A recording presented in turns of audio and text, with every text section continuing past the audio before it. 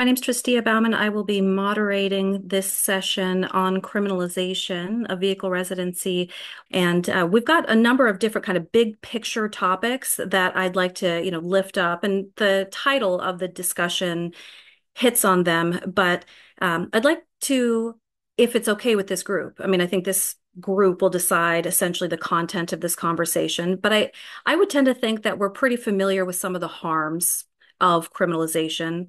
And I'm also going to operate under an understanding that we now are all going to be using the phrase criminalization to not just mean narrowly criminal penalties for vehicle residency, but all uses of law and law enforcement to displace, dispossess people of property, segregate, and otherwise penalize people for living in their vehicles. And so, uh, you know, let's use that big, big, um, broad definition of criminalization for purposes of this conversation.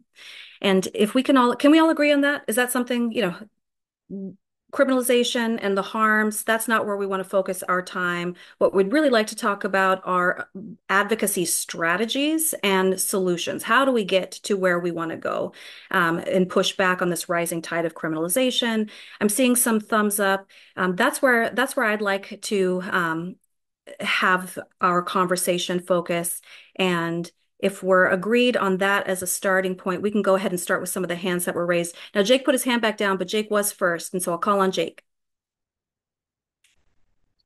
Thank you. Um, I want to jump in with a big suggestion that I want to shout out to the world. How about instead of criminalizing people, we offer them a solution? I feel like every locality whether it be a small town or a big city, before punishing people, offer them a solution that works in their vehicles. For example, defining a space in town or in the county where they can live in their vehicles uh, short term or long term. From that point, it gets complicated. But why can't we shout that to the whole world and get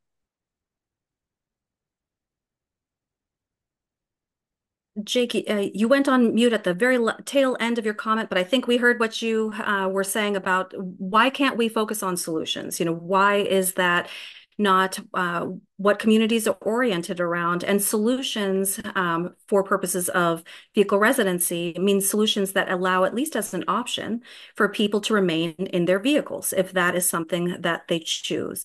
Um, and I think there are a lot of reasons for that. I know that Ruth raised her hand before Jake asked this question, but I'm going to, uh, you know, for purposes of facilitating a conversation, go to Ruth and see if you have any uh, response to Jake. And Ruth, you're on you're on mute.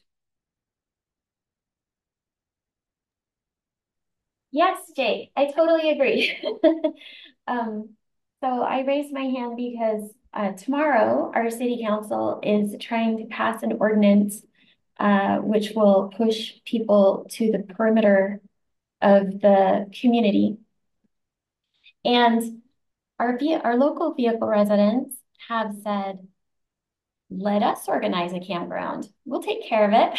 so that's my idea for a solution.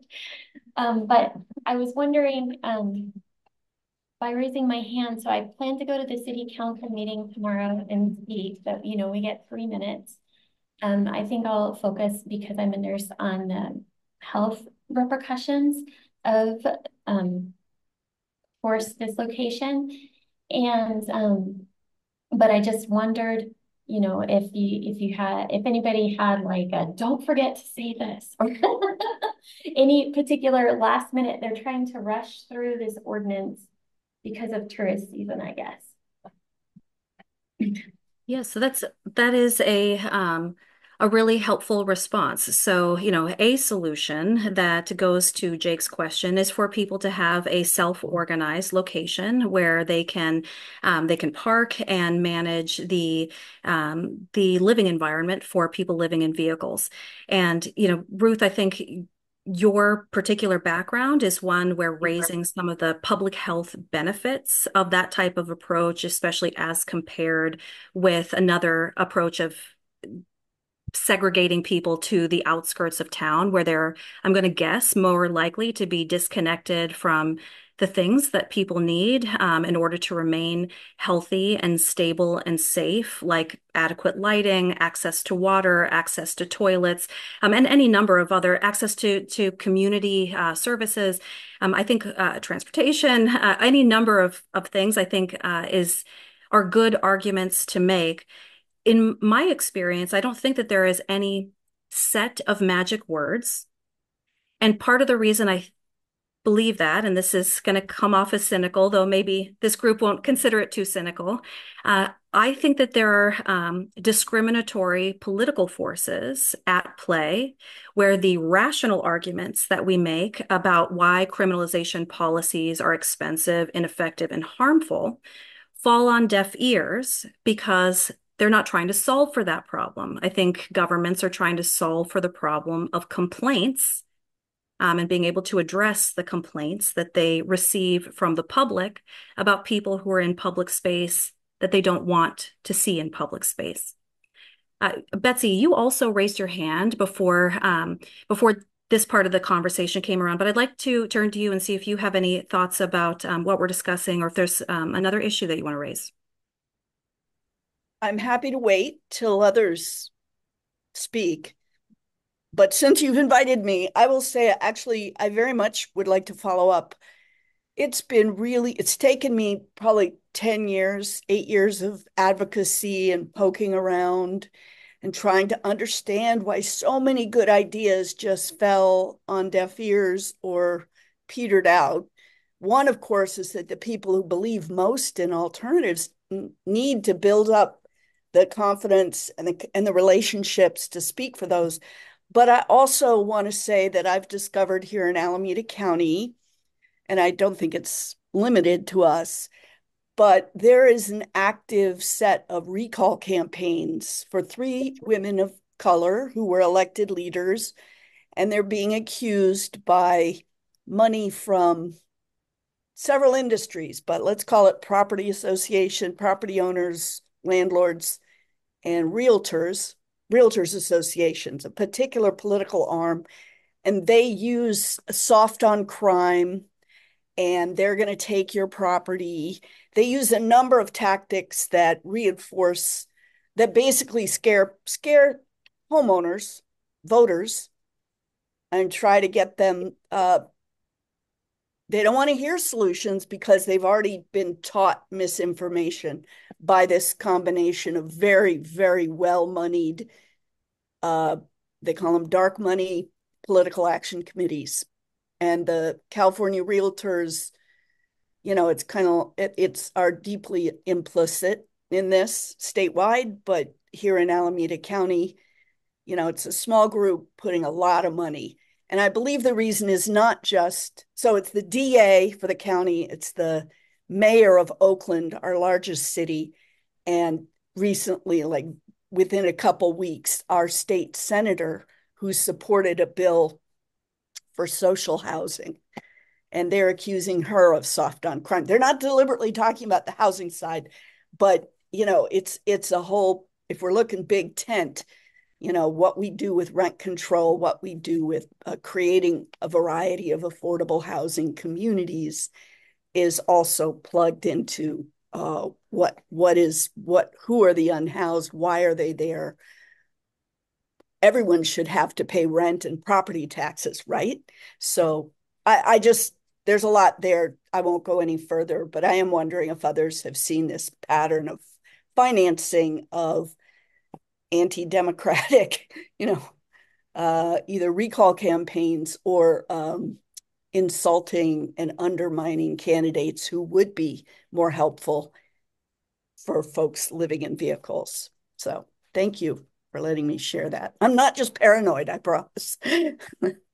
I believe you, Betsy, and I'm guessing a lot of people here um, have had similar experiences. So, you know, a couple of um, issues that I, I want to lift up. One, uh, Betsy talked about the um, political nature of policymaking in this space. Um, and issues related to housing and vehicle residency and what we might more traditionally think of as being unhoused are inherently political. Um, and there are political forces that are leveraging the um, arguments to spread fear um, through disinformation and uh, use it as a political football for purposes of putting people that they want in power into uh, positions of power. I, I am um, saying that based on experience. I don't, you know, expect everyone to agree with me. Um, and there are instances where perhaps I'm wrong, but that does seem to be, you know, a common theme uh, that I have witnessed. And, and Betsy asked if, if others have seen that same thing. Uh, I see that Ruth has her hand up again. And because we've heard from Ruth, I, will I'll pause really quickly. I will come to you, Ruth. Anybody else, you know, have the experience of witnessing what appears um, to very uh, transparently be uh, a political um, battle when the discussion is about the real needs of uh, vehicle residents and perhaps dark money and deliberate efforts to spread disinformation about vehicle residents to support criminalization policies.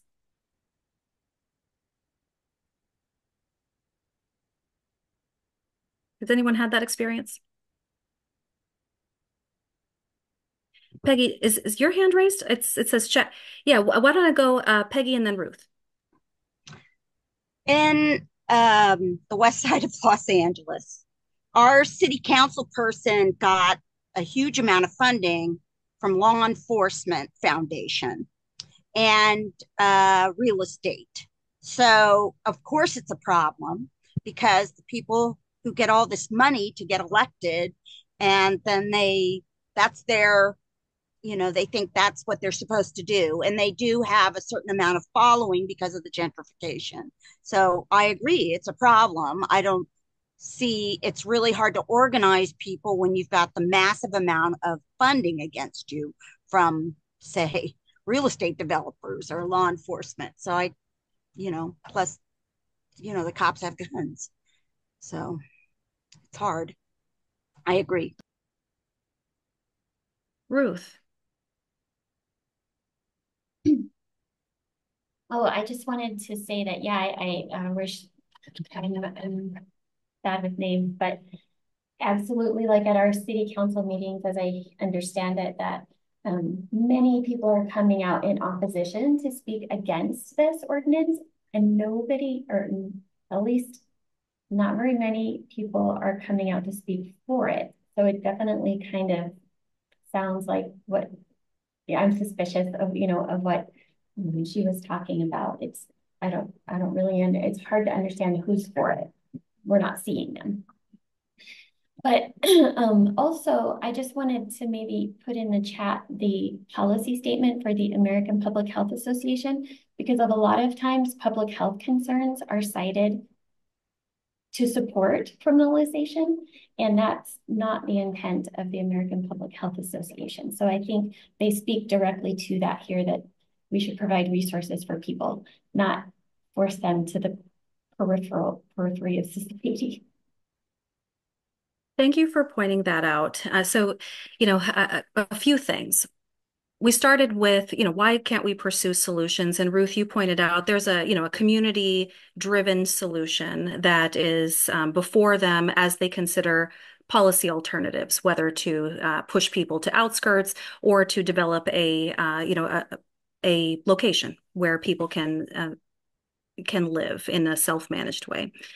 Uh, there is always value, despite the cynicism. Um, my view is that there's always value in making the true policy case. This is going to improve public health. Here's what the American Medical Association, the CDC, this is what experts have said, um, including, you know, um, in your case, Ruth, I am saying as a as a health professional, what will improve public health um, and why we're making the recommendation. I think other types of arguments that can be compelling when you're making the true policy argument are costs.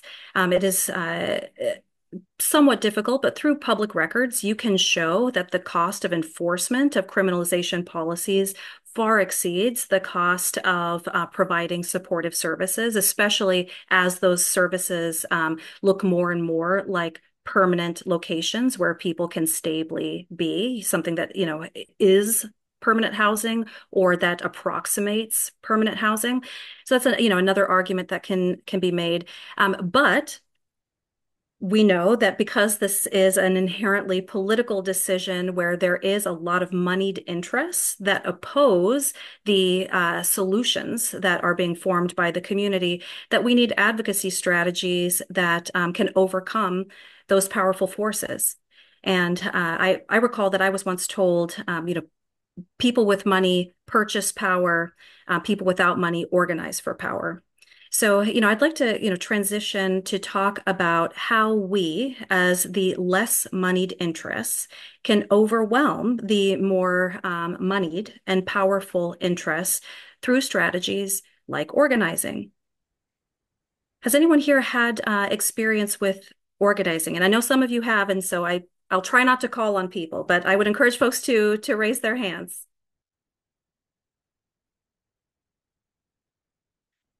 But a quick show of hands, who's who's had any experience with organizing opposition to criminalization policies? Okay, I probably should have warned you first, but everybody who's identified themselves, I'm gonna you, you risk being called on because I want to make sure that we're all uh, all engaged. And I saw a few hands go up, so I'd like to um, call out folks that I'd like to go to, starting first with Cappy.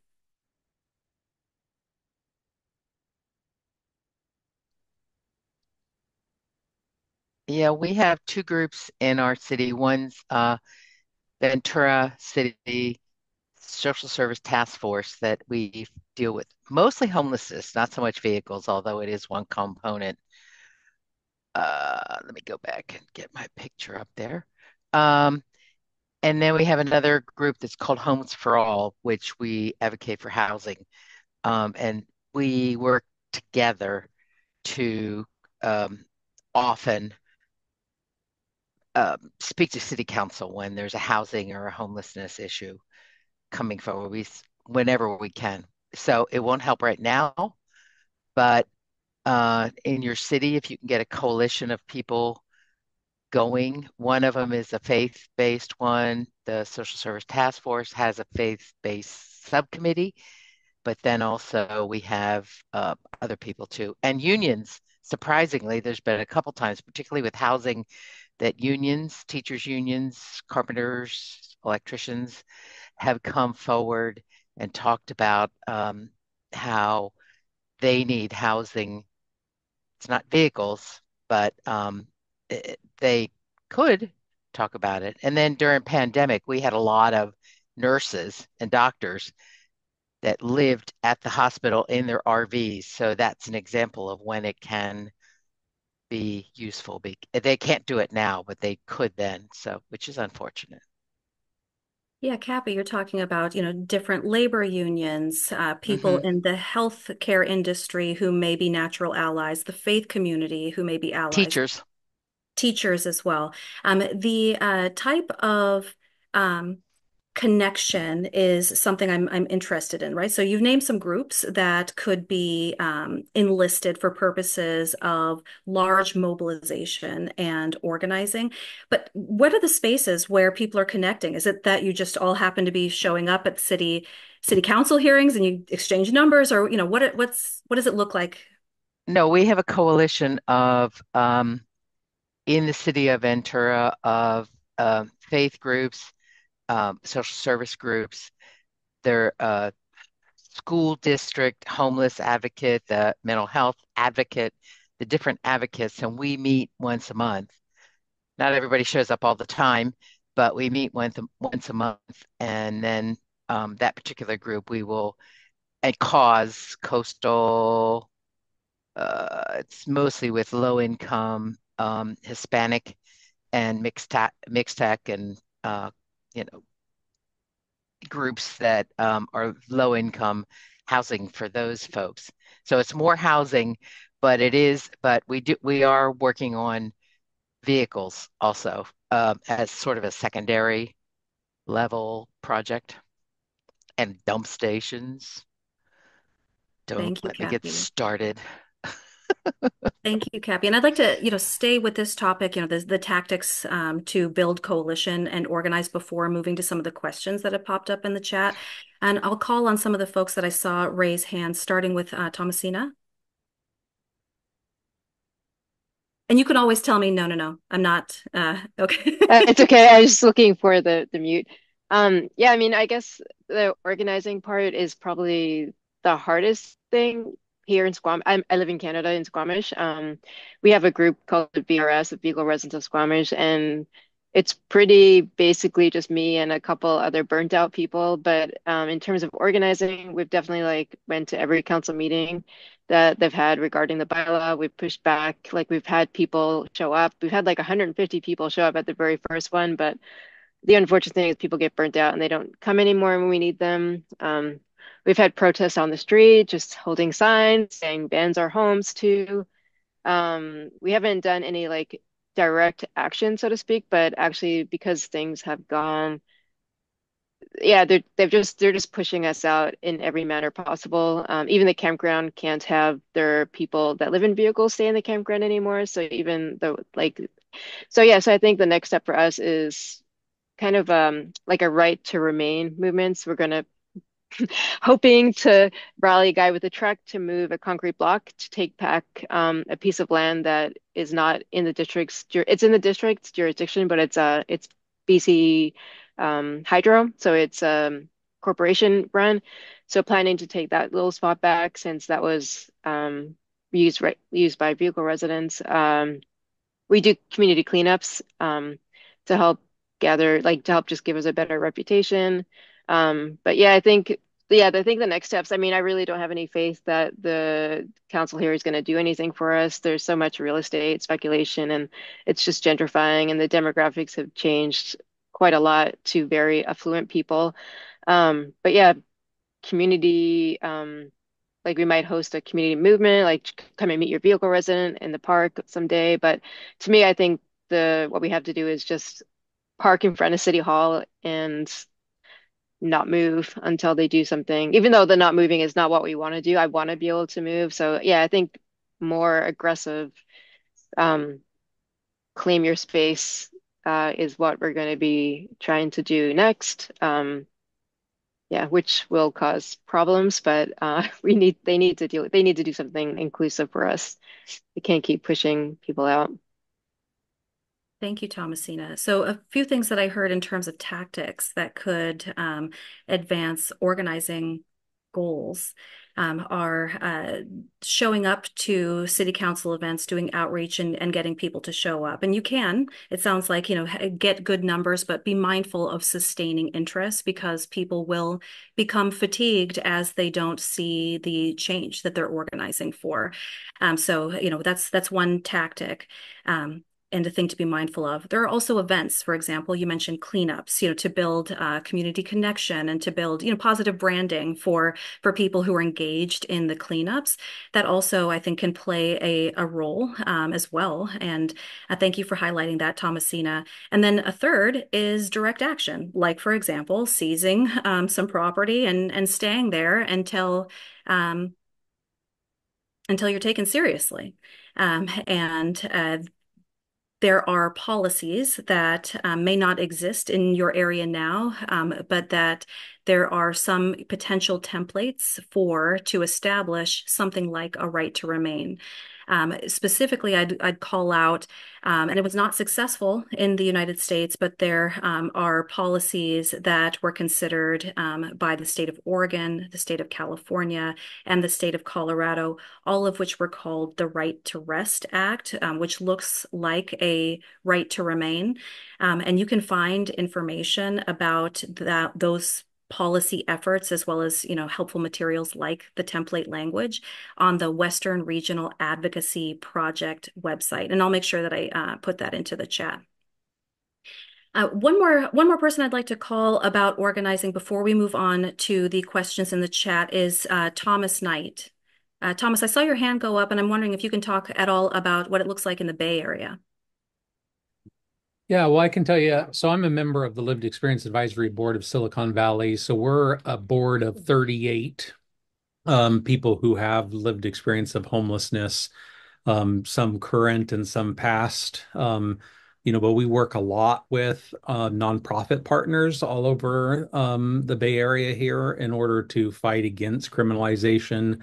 Um, some of those nonprofits have, um, you know, direct um, and specific um, efforts right now towards um, making sure that that criminalization doesn't happen. And unfortunately, we have a mayor here in San Jose who is is more pro criminalization than we would like. So um, we spend a lot of time at city hall and uh, county supervisors meetings trying to make sure that that those things don't go through. Um, unfortunately, like you see in a lot of places, you know, even going to city council, um, you know, we find that their their their minds are already made up no matter what public comment says. Um, but we find in those cases meeting with them directly um, before the meetings and having conversations with them is more useful than public comment itself.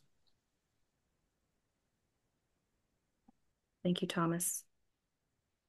And he didn't raise his hand, but at the risk of uh, annoying him and and also um, being annoying to the rest of you because I'm only now turning to the uh, criminalization questions in the chat. I, am wondering if we can hear from Bill Sweeney, who is an experienced attorney, um, policy advocate, is service provider, and living in uh, Colorado, where um, organizing has made some difference. I mean, there are, in a lot of ways in Denver and Boulder, there are um, policies that the rest of us would like to emulate. Thank you. Um, there's there's a lot going on, and I, I think we have moved in a somewhat different direction. There's um, the classic idea that somehow uh, we learned in civics class that uh, well-intentioned people would go and give a nice speech that sounded good in a 1930s movie, and um, the mayor and the city council would say, "Oh my gosh, you know, we we really need to think this through," and they would adopt a bill whose language was magically printed somewhere behind the scenes in Hollywood. Uh, that doesn't happen, or at least it's over here. Um, most things that are political theater are useful only for stopping, uh, not for getting what you want. They're only good for stopping uh, because they, they make people afraid to take a position. Uh, that's what they're designed to do. And there's a lot of frustration because the system doesn't work the way civics class said it would. Um, it works if you start at the grassroots, but that means uh, there are candidates we've been backing for a decade or more um, who are now coming into maturity of their offices, who are beginning to do the things that we need to do, and who are listening to us. Yes, we need to meet with them before every vote that has any kind of meeting um, I regularly brief individually the city council members, the county commissioners on important issues, uh, just the way they ask their staffs to brief them. I send them regular briefings two or three times a year, telling them what they need to do. So does my daughter. We have, I can't tell you how many lawsuits and civil proceedings and the like outstanding. Um, it is not. Um, it's not an arena for the faint of heart or for those who just want to drop in and get a change and drop out again. It's that doesn't really happen very often.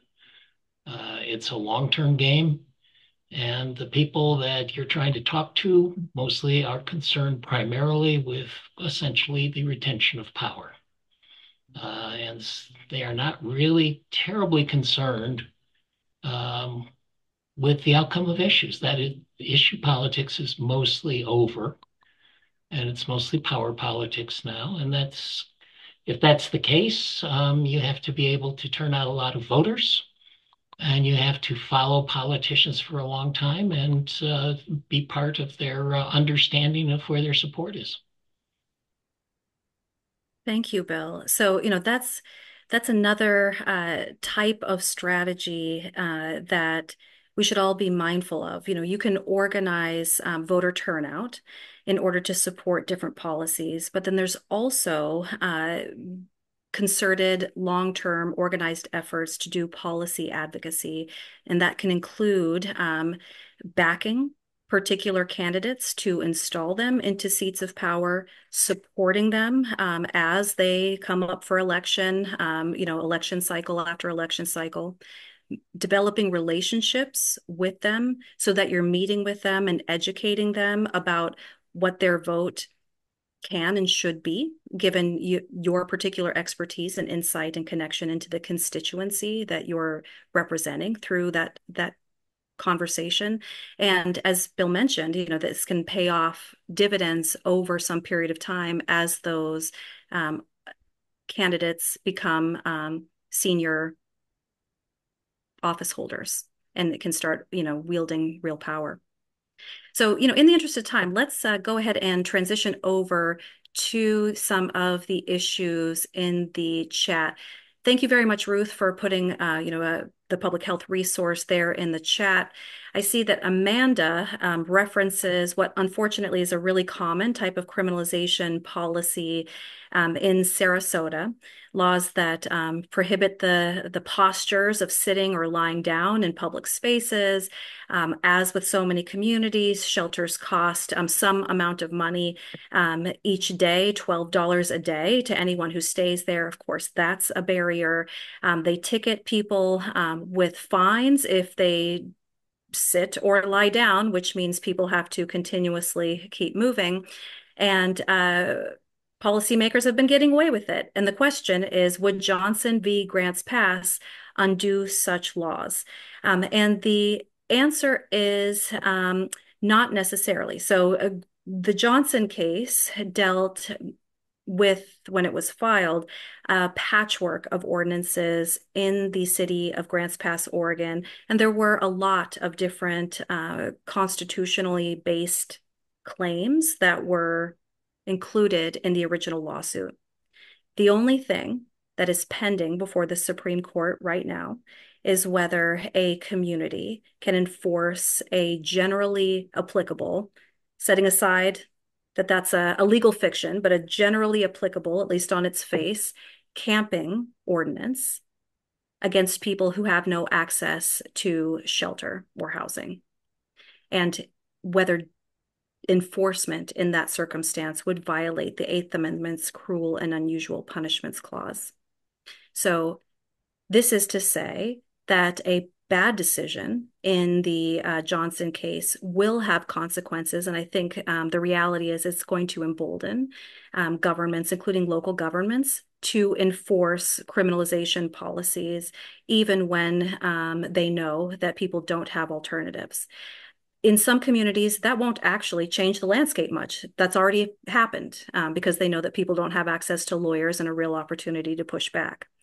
In some communities, that could mean uh, enforcement of currently existing ordinances like sit-lie laws. Um, it might mean uh, enactment of, of new ordinances um, that they feel that they have a, a, green light to move forward. But again, Johnson would only be um, narrowly about camping bans and the Eighth Amendment's cruel and unusual punishments clause. So there still would be a lot of different tools that would be available to unhoused people to challenge a sit lie ban.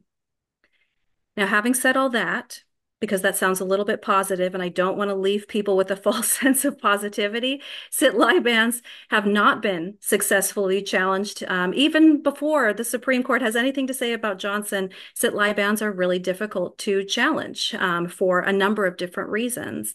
Um, one of them being that they often don't apply throughout an entire community. So to the extent that Sarasota says you cannot sit or lie down in public space anywhere at any time in the city of Sarasota, um, would be vulnerable to a number of different arguments um, that uh, I think, despite what happens in Johnson, um, it, it would still be vulnerable to those arguments.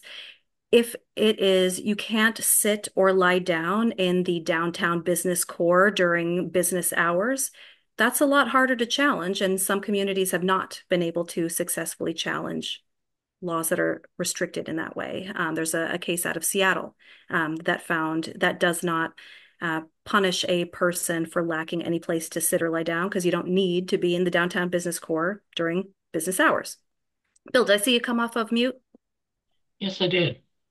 Wanted to toss in something else here because it's there's there is a political movement. It's um, more international than national, uh, and it um, revolves around determining whether or not it's possible to get jurisdictions to add persons who are unhoused to the list of legally protected classes.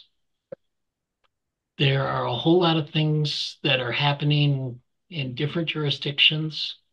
Uh, many cities, many states have local um, laws that model on uh, the restrictive laws of the United States over race and sex and disability and the like. And uh, if there were a similar classification for people based on their housing status, uh, there might be a lot that could be done. Um, I've been working on that for quite a few years here. It's uh, a long slog, uh, but it may be uh, worth considering as a an additional strategy.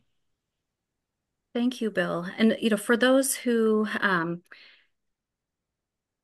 who might benefit from some context for what uh, Bill's talking about, when there are certain um, identities that are deemed uh, protected statuses or protected classes. And that um, means a couple things. One, discrimination based on a protected identity is unlawful under uh, federal and um, a lot of state policies. So and and potentially some local policies as well. So there's this protection against discrimination. There also is a heightened level of judicial scrutiny whenever uh, discrimination is fairly alleged. This is something that looks neutral on its face, like, let's say, a, a sit-lie ban that has a discriminatory impact on somebody with a protected status. And when a status is expressly protected, judges will apply heightened scrutiny, meaning you have a higher standard of uh, of proof as a city that you have a non-discriminatory purpose for enacting and enforcing that particular policy when it impacts people who are members of protected classes. I hope that wasn't too kind of legalese, but suffice it to say, there's a lot more protection, um, and it's a lot harder to justify those uh, discriminatory laws in courts when um, there is um, clear protection of people based on a protected identity. The Supreme Court has said that a person's um, housing status, uh, well, the Supreme Court has said that housing is not a fundamental right. Um, and so we don't um, have any um, constitutional right to adequate housing. Uh, the Supreme Court has also said that uh, a person's um, socioeconomic status uh, is not uh, protected. And so, what that means uh, as a practical matter is that it is often legal to discriminate against somebody based on their economic status. There are efforts, like Bill has described, to uh, write in expressly to laws protection for people based on their socioeconomic status or perhaps their housing status or form of shelter that they use. And uh, that would provide some legal protection against um, discrimination and enforcement of laws like a sit lie law that have a discriminatory impact on people who don't have private places to sit down in Sarasota, for example. Okay, so moving right along to the next, uh, just because we're at 309 and I know that we want to cover uh, different comments. The state mandate to build more housing has created a huge increase in real estate influence in city affairs. Most open space in Berkeley is slated for development um, or both market rate and affordable housing. Um, and I'm going to assume, Bob, that um, the affordable housing you're referring to is housing that is at 80% area median income or below, which in a place like Berkeley is an incredibly uh, large amount of money because uh, the median income uh, is is quite high um, given you know the industry that's in the Bay Area. And the available space for vehicle residents is shrinking as the need increases. Uh, here, here, Bob. Uh, I I don't know that any of us in kind of major urban areas are experiencing anything different uh, as it relates to the um, development and gentrification of of spaces, and it does create a shrinking of locations where vehicle residents can be. Um, before I move on to what Thomasina said, I'll just name that one of the barriers to solutions is the difficulty in finding adequate sites for locations where people can be. Um, for this very reason. Uh, you know, a lot of the more prime real estate is being developed um, for profit. Um, the type of sites that we're talking about for vehicle residents are not as profitable as high-end, uh, you know, condos. And uh, what is left in terms of available land for those types of sites may not be appropriate at all for human habitation. Um, like, for example, sites that I have seen identified in different locations that are former, you know, toxic toxic waste sites. You know, people want a place to be, but they should not be and cannot be um, health healthfully and safely placed in a location that is is not adequate for them. And so as you start to think about advocacy for places where people can be, um, you know, be mindful of some of the uh, zoning um, regulations, the housing planning, um, and other types of um, policies that may uh, dictate appropriate sites for the types of communities that that Ruth mentioned. So next, yes, please.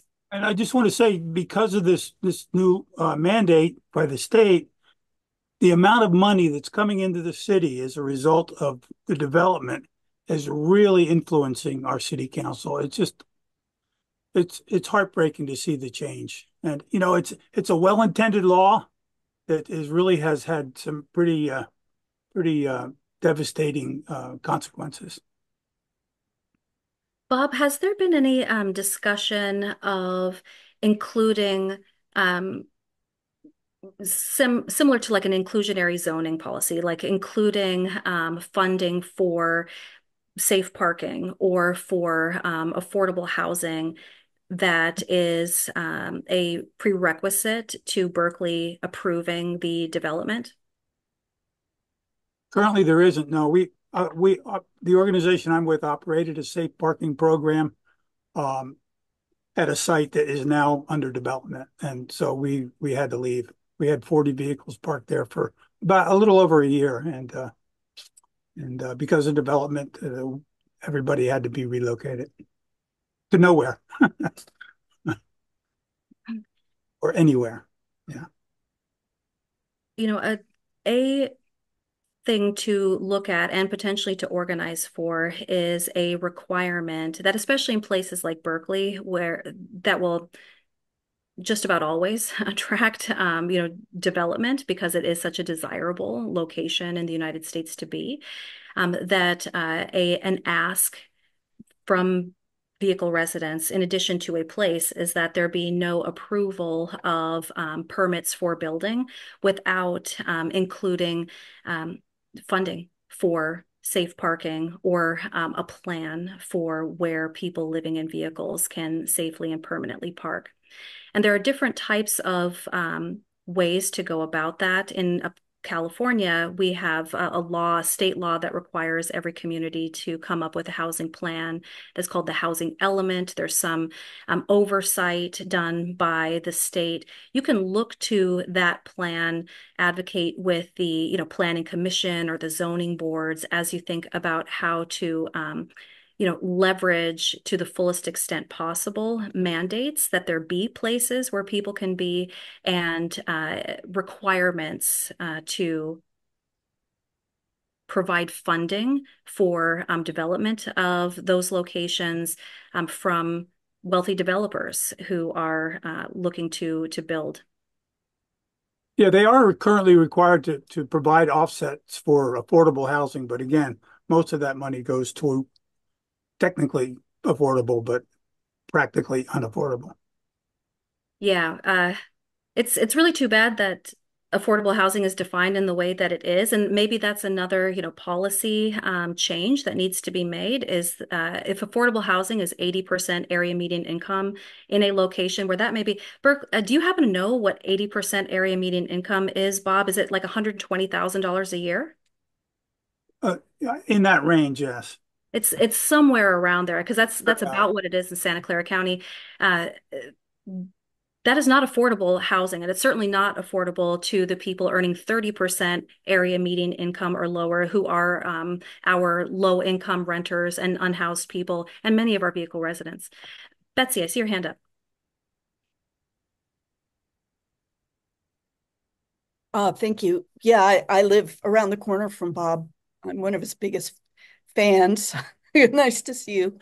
Um, I just wanted to say that, you know, the tools you're mentioning were once thought to be really helpful, but I those are like decades and they still haven't uh so I I I want to draw attention to what I think we could also, those of us who have the patience and the time, which is housing justice organizing, not just advocating for generic affordable housing, but uh, going more deeply into renters' rights.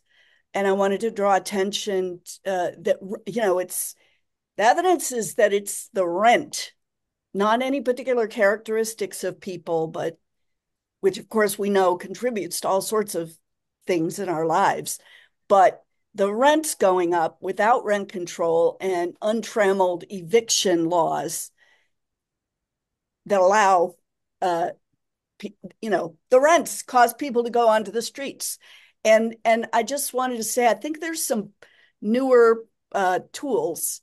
One of them is alliance for housing justice seems to be a new uh, national alliance of groups like right to the city some of the low income poverty law centers uh, some think tanks uh, you know that they're actually looking at building base building these groups may already have organizing going on, but they're not organizing people who are unhoused because that is a very special and unique and moves around kind of, um, you know, it's people here. So you, you tell me. Um, but I just think knowing a little more about the structures uh, will be helpful. And yes, we have lots of laws in Berkeley and even the state that still don't necessarily include or give space to what you said. Having having a, a platform for right to park, right to have safe parking, things that uh, you're denied once you're no longer paying your property taxes in an area, apparently. So I just want to reinforce. I put a couple links of just two two things that I know, and I really recommend this collaborative consider joining not to be the voice of vehicle residents, but to bring that voice to the table because we need it to really have a robust housing for all response. So anyway, thank you. I I I just know we're very frustrated in Berkeley. and that uh, uh, organizing, organizing, organizing, building relationships. I really appreciate that message. Yeah, I, I agree. So a couple things I, I want to lift up. Um, organizing uh, should not be thought of narrowly as just um, finding locations where people who are living in vehicles can be. As we know, a lot of people um, want to remain living in their vehicles. Many are living in their vehicles as a function of having been displaced from traditional forms of housing, often rental housing, often as a direct result be, uh, of, of eviction or threat of eviction because people can't afford to pay the rent. Um, when you think about homelessness prevention and when you think about uh, ways to prevent people from being displaced from housing, rent control policies and organizing for that can help build a broad tent um, of, of groups that can all work for a common purpose to reduce the number of people who are um, being displaced from housing. Uh, also uh, we're at we're at time. So um, i think it is correct that uh, we keep pushing on the traditional levers but thinking about other um, you know policy advocacy levers. We haven't talked a lot about litigation. Another strategy is to um, file lawsuits. We are let's see are folks comfortable? Because i know that this goes to 3.30 and we're just about we're just about at the time when they would want us to wrap up because we want to take a 15 minute break but i'd, I'd like to keep going. Um, so i will stay on for anybody who wants to to keep going so we can keep going through. Great. Um, so let's let's transition and talk about uh, litigation. And I'm just going through here to see uh, if there are any questions specific to litigation. Thank you, Betsy, for putting those resources in the chat. And thank you also for highlighting what is most critical. Ultimately, if you're not a vehicle resident, um, all you can do is be an ally to vehicle residents, and that means uh, assisting vehicle residents for telling their stories, supporting their goals. Um, but we're not we're not the people who tell the narratives. We can't be the narrative builders. Uh, we should not be the people who are um, attempting to um, control the direction of advocacy. That should be, you know, community driven, and uh, that includes with litigation strategies. So, you know, we've talked a little bit about what it means to to litigate there are ordinances that are vulnerable to legal challenge. Often, criminalization policies are challenged based on violating the US Constitution. A lot of those cases are brought in federal court. Not all of them are. All of our states have constitutions as well. Our states usually have some form of analogous right to the rights that we recognize under the US Constitution, like a right to be free from unreasonable seizures, a right to be free from cruel and unusual punishment. So, under your state constitution, you can also look for um, a basis to file claims um, against the types of policies and enforcement practices that characterize, you know, criminalization of vehicle residency um, ordinances. A thing to recognize, though, is that uh, litigation is prolonged you know, it, it can take years. The Bloom v. San Diego case that I mentioned yesterday, that was filed in 2017. And we are just about ready to file our, you know, motion for final approval of the settlement agreement. And we're mid 2024. We won't have, you know, any real decision about that even for a few more months. And so I say this to say litigation can be a, a really powerful tool, but it's one that takes a long time um, and it takes a lot of investment for all of the named plaintiffs who are part of that lawsuit. They showed up um, for deposition. They had to show up for hearings. They showed up for settlement negotiations. There's a lot of, um, you know, resource investment, but when you have that commitment, it can result in large packages of relief like the one um, that uh, we believe will be approved in San Diego. But again, using San Diego as uh, as an example, um, the relief is imperfect. It's a compromise because it's a settlement agreement you know, Desertrain, the case that's being referenced in the chat by Peggy, that resulted in an opinion that a particular type of ordinance was vague. That's great for striking down that ordinance. What ended up happening, just, you know, replacement and other forms of um, ordinances. I don't say this to discourage us, but I do say this to to say that um, there is no silver bullet tactic. There um, needs to be prolonged um, commitment to the tactics that you use, and that includes ones that people think of as as being a silver bullet, like litigation. Yes, Peggy. Um, I think people have a hard time finding attorneys, and part of the situation is is that it takes years, and the people have no money to pay the attorney, so it has to be taken on by uh, pro bono. So I know this from working with Carol Sobel in the Desertrain case and other cases, you know, and people get mad as an activist that I, oh, get your attorney, Peggy. But they don't understand that, you know, I mean, she's not that young anymore. And where are all of the attorneys willing to spend years and years not getting paid and then getting criticized when they do get paid? after five, seven years of fighting and the city not, you know, even wanted to pay at that point, even though they've lost. It's a crazy situation when you have an evil municipality. So I would say that, uh, you know, we need to combine our litigation with other activism and really support each other. That's just my feeling about litigation that you know, we can't expect lawyers to be the silver bullet and come and save us. We have to do the work too as organizers and activists to bring the evidence, right? And hopefully it's a good case. I don't know. So um, I really support uh, litigation though. I do. Yeah, thank you. I see that Graham's here probably to warn us that we're going way over time, but I uh, I'll I'll just uh, wrap it up to say um, that we talked about organizing strategies. We talked about different types of policy advocacy and political strategies. And we talked about, uh, at the end, litigation strategies. We do need more lawyers, and there is a way to um, marry the idea of movements with lawyering. Um, please do check out the National Homelessness Law Center and WRAP's legal defense clinic model. There are um, resources that have been put together that can assist um, with the type of movement lawyering that this larger movement needs. Um, and you can implement those resources locally. And I'm I'm always happy as a person who helped develop those resources, um, you know, to talk about them and, and support them. Thank you all for staying over and um, for as uh, rich conversation as we could get in 45 minutes.